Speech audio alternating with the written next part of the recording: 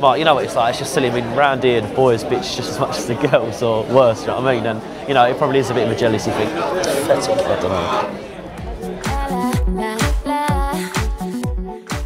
How are you feeling? A bit nervous. Are yeah. Oh, don't be nervous, Lo. You look amazing, seriously. Thank you. There's so many people out there, Jess. I know. I'm so excited. I'm so nervous, though.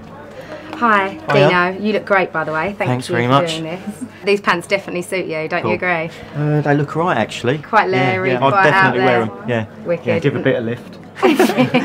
George needs plenty. All right, well, thank you for doing it. I really appreciate it. You Cool. look wicked. Nice one. Thank you. Right, guys, I'll see you in a minute. See you later. Bye.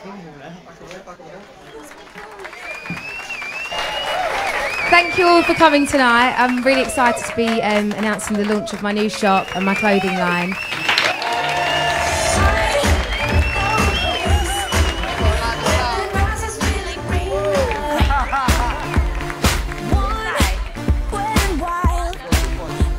Give me something.